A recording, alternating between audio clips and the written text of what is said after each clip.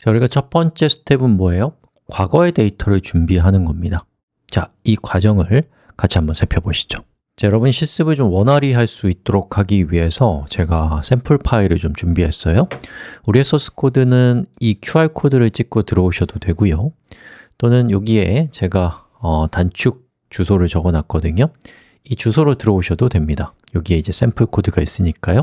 참고하시길 바래요. 자, 여기에 5.html 파일을 클릭해서 저 파일의 내용을 한번 열어보시면 이렇게 내용이 있습니다. 자, 저기 있는 코드를 카피해서 이렇게 붙여 놓고요. 그리고 여기에 있는 이 코드를 지워나가면서 우리 실습을 하자고요. 실제로 코드 하나하나를 치는 건 좋지만 또 실수를 하기도 쉽고 또 지치기가 쉽거든요 자, 우선 이 5.html 파일을 저는 복사해서 우리 수업의 넘버인 5.3.html이라는 이름의 파일로 바꿨습니다. 자, 제일 먼저 해야 될 것은 TensorFlow 라이브러리를 load하는 거니까 이 코드가 필요하고요. 그 다음에 우리가 첫 번째 해야 될 스텝은 과거의 데이터가 필요합니다 그때 저는 20도, 21도, 22도, 23도를 배열로 담아서 온도라는 이름을 줬어요. 자, 판매량은 이렇게 됩니다. 즉, 20도일 때는 40개가 팔렸고 23도일 때는 46개가 팔렸다라는 것이죠.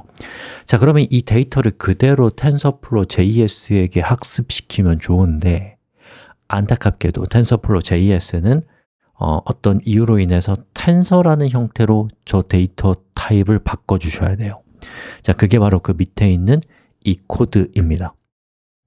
자, 보시는 것처럼 tf-tensor라고 하는 저 함수의 입력값으로 온도를 주면 어, 텐서로 바꾼 결과를 만들어 주는데 저는 원인과 결과라는 이름의 변수로 저것을 담았습니다.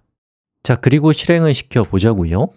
자, 개발자 도구를 키시고 콘솔에서 원인이라고 하시면 저것이 바로 어, 온도 데이터를 텐서로 바꾼 것이에요. 네, 이렇게 생겼어요. 그럼 이제 여기 얘가 가지고 있는 것 중에서 아주 우리가 앞으로 자주 사용하게 될 것이 원인에서 프린트라고 이렇게 해주면 저 원인의 실제 데이터가 무엇인가를 이렇게 우리가 화면에 출력해 볼 수가 있습니다. 그래서 이 프린트는 자주 사용할 명령이기 때문에 잘 기억해 두시면 좋겠습니다 자, 정리합시다. 우리가 지도학습을 하기 위해서는 데이터를 원인과 결과, 좀 유식하게는 뭐라고 해요? 원인을 독립변수, 결과를 종속변수로 구분을 해야 되고 그것을 코드로 표현할 때는 이렇게 표현한다 그리고 텐서플로에서는 텐서로 바꿔줘야 된다 라는 것을 정리해 주세요 축하합니다